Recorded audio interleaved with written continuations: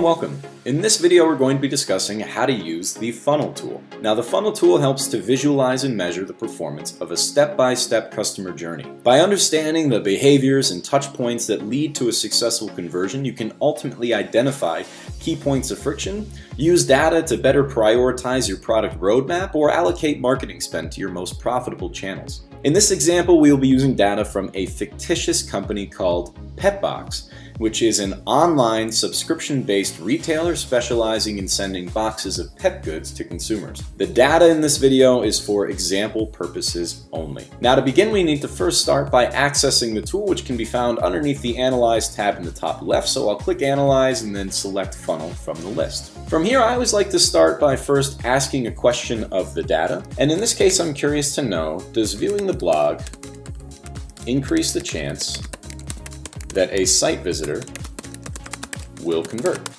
or essentially become a customer. Now to answer this question, we're going to build a funnel, and we do that by laying out a series of events in the order that we want to track users as they move through them. And we'll do that first by coming up here where it says select an event next to the letter A. And as I click that select an event link, you'll see a searchable drop-down list appear containing all of the events that you're currently tracking and sending to indicative. Now in this case, I want to simply start that journey or that pathway that users are going through by looking at how many people come to the site who are not already subscribers. So I'll search for site visit non-subscribers to start my journey. Now from there I need to see, are you looking at the blog or not? So I'll make my second event in the journey blog view. And then finally, I'll end this with our conversion event, which in this data set is simply called subscribe. Every time you build a query in Indicative, you need to define the date range that you're looking at. So where it says entered funnel last seven days, if I click there, I'll get a couple of calendars that I can use to create a custom date range. Or on the right-hand side, I can use one of our preloaded date ranges. I'll expand this one out to look at the last 30 days and click play.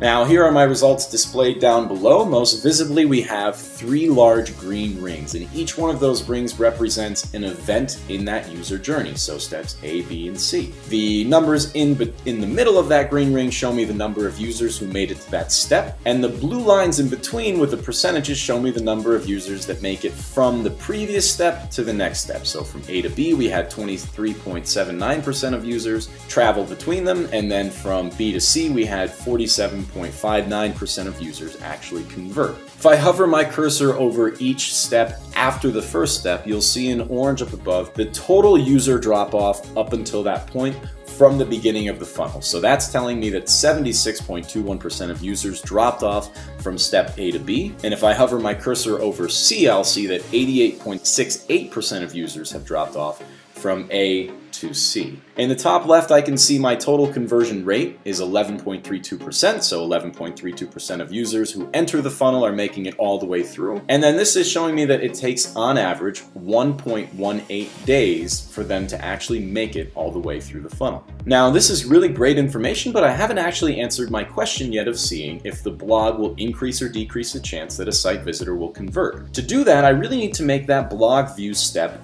optional. And I can do that by heading up here to the top left where there's this little green pin. Now, any step that is not the first or the last step in your funnel will have this pin. And if you click it, that will make the step optional. So now when I rerun this query, you'll see that we have two different pathways to look at. One is users coming to the website as a non-subscriber and then converting without viewing the blog, which we can see here has 33.01% chance of a user doing that. But if I click on this other pathway, now I can see updated conversion rates and updated conversion times, showing me if a user does in fact view the blog first, what their new likelihood of converting actually is. So I can see that we do have an increased chance of driving a customer to convert if they view the blog first, 47.59% versus 33.01%. To find out more about the funnel tool, keep a lookout for our additional videos coming out where we'll dive into some deeper functionality. But for now, Happy analyzing.